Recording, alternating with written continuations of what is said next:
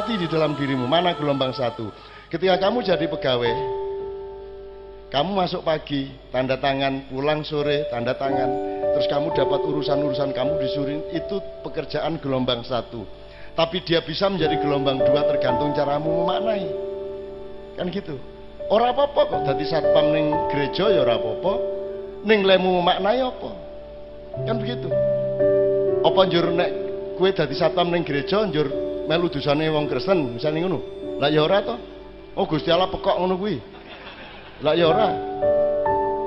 Masa Tuhan ngukurnya begitu? Nek tuku apa-apa kudu delok sing dodol wong Islam apa dudu ngono. Piye carane nek nolong kudu didelok. Ya ana wong kaliren sik-sik Islam ta dudu, nek Islam ditolong ngono kuwi. Carane nolong. Ora ana ajaran Gusti Allah kaya ngono kuwi. Nek nolong ki nang wong sing butuh pitulungan. Bahkan ora ming wong. Apa wae sing butuh pitulungan kok tulung. Ora nganggo identitas. Ya ora? Ora ana wong tiba serempet motor. Sik sik sik sik sik, kowe Islam ta Kristen? Islam. Islam ya mati ya. Islam. Islam. NU Muhammadiyah. NU. NU. NU ne Gus Dur apa Muhaimin? Ah ra mati. Nah, batas-batas hubunganmu dengan materialisme dan gelombang pertama itu kamu manage terus. Orang apa-apa, kadang-kadang harus berbohong. Berbohong itu kadang-kadang sangat diperlukan. Jadi tidak semua kebohongan itu baik, eh tidak baik. Kadang-kadang kebohongan itu wajib. Lho piye gue iki? Nek kancamu misalnya kancamu lara ning rumah sakit, menurut dokter mau wah niki pun angel niki Mas, niki ketoke mengrong-rong sasi niki cari dokter. Terus kowe saking jujure piye apa ya lumayan sih rong sasi kok ya. Sip ya wis ya didolek hikmah ya, dolek hikmah ya. Sadurunge modar piye carane dimaknai ya. Kuwi saking jujurmu. Aku aku takon, kowe kudu ngapusi apa kudu jujur? Eh? Jadi ngapusi kan apik to ning ngono. Misalnya ana wong merongos, Mas Jana. Kowe kok iso merongos piye to Gus? Kaya ngono kuwi. Eh? Eh? Lah ya kudu kok apusi sithik-sithik to ya. Dadi ngapusi ki ana apike dadi urip ora kaku ngono kuwi. Gitu loh. Piye to ya iki? Ana wong buelong kene ne. Long belong belong kabare long. Cang bincang piye ceng? Cek cek piye carane itu ya ora iso.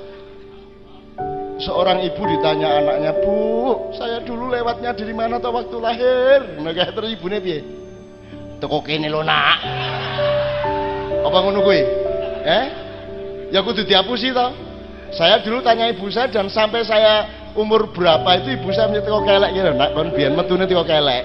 Ibuku ngomong nganti sampai beliau meninggal belum pernah meralat bahwa aku biar metu kelek. Apa nyuri buku dosa? Terus malaikat kayak tuduhan kamu berbohong kepada anakmu. Kamu mengatakan bahwa lahirnya anakmu adalah dari ketiak. Padahal sesungguhnya adalah dari tempat yang dulu sangat sukar membikinnya. Cari ini wong edan-edan kuwi nek gawe wong lanang gampang, gawe terus ditempleki ceklek lanang. Nek wedoke di dibelek sret minggup meneh. Dibelek meneh minggup meneh. Wah, terus iki piye carane ben ora?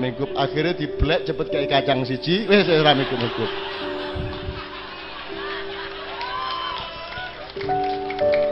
Aku ceritane bangsa ngene-ngene iki ngono-ngono kuwi.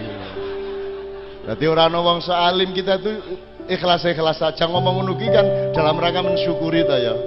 Kowe nek ora ana kacang ya menyesal ta ya kowe ya. Ya kowe mulane saiki iki kowe dadi ahli kacang. Oke, saya kira cukup. Tiga gelombang tolong diamati. Pokoknya Anda terus-menerus harus cari gelombang yang ketiga yaitu Nur Muhammad yang sebenarnya. Pemanaan budayanya sangat bagus tadi. Pokoknya kowe ikhlas wae.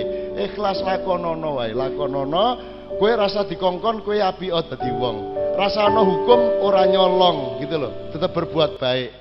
Lakukan ihsan, ihsan, ihsan. Ihsan itu adalah kebaikan yang engkau lakukan meskipun tidak disuruh. Meskipun tidak dianjurkan. Gitu ya.